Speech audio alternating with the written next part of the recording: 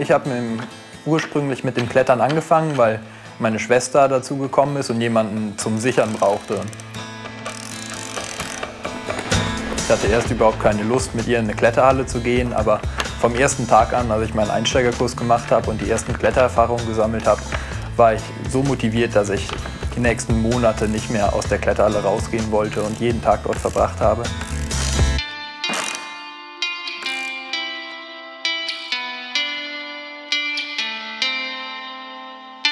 Um motiviert zu bleiben, war es für mich immer sehr wichtig, kleine Ziele zu haben, auf die ich hinarbeiten und hintrainieren konnte. Egal, ob es schwere Routen am Fels oder der nächste Wettkampf waren.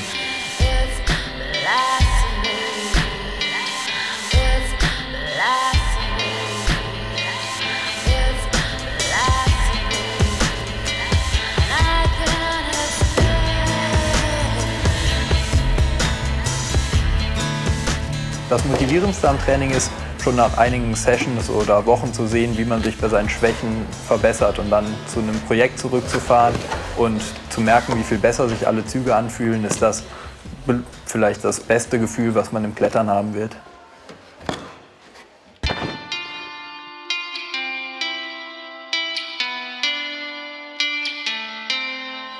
Seitdem ich kletter, haben mir Leute hier in der Halle von Fontainebleau vorgeschwärmt, dem ihrer Meinung nach besten Bouldergebiet der Welt.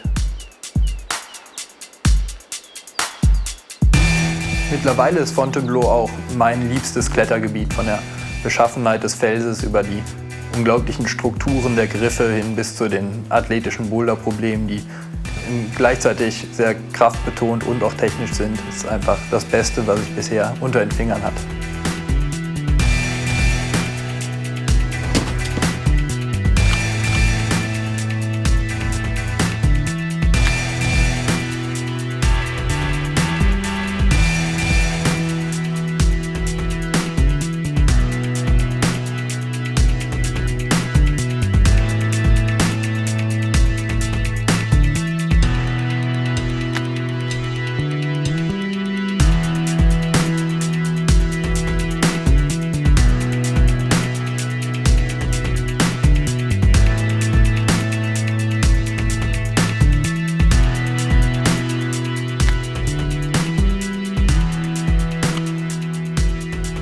Ist schwer zu sagen, was für Linien mich eigentlich motivieren. Es geht dabei hauptsächlich um den ersten Moment, wenn man unter einem Boulder oder einer Route steht und sich einfach nicht vorstellen kann, dieses Gebiet zu verlassen, ohne diese Route versucht und geklettert zu haben.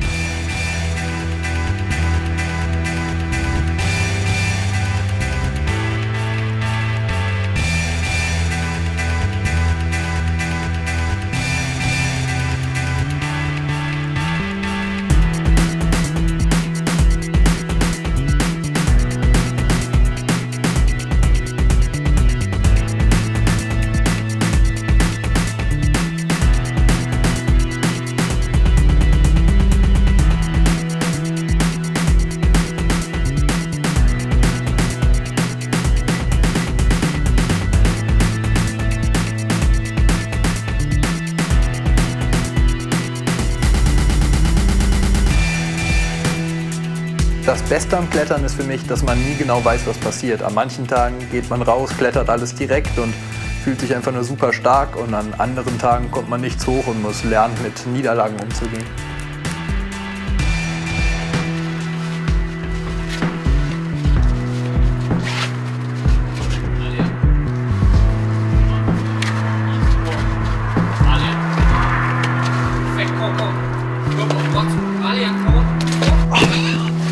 Good try. Oh, felt super close.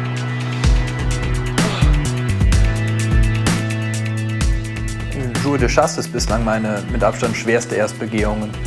Das ist für mich eine sehr logische Linie, die mich vom ersten Tag an durch die Athletik und Dynamik der Züge beeindruckt hat.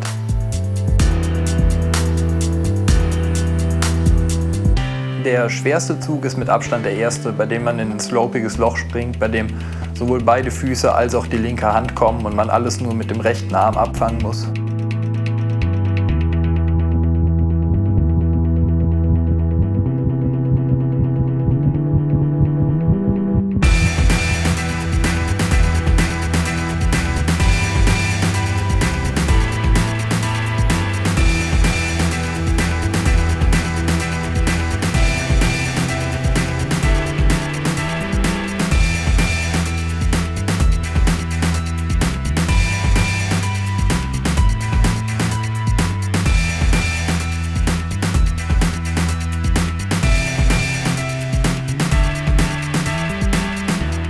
Dieser Intensität werde ich das Klettern bestimmt nicht weiter betreiben, zumindest nicht mein Leben lang, aber ich bin mir schon sicher, dass Klettern immer ein Teil meines Lebens, meines Alltags sein wird. Also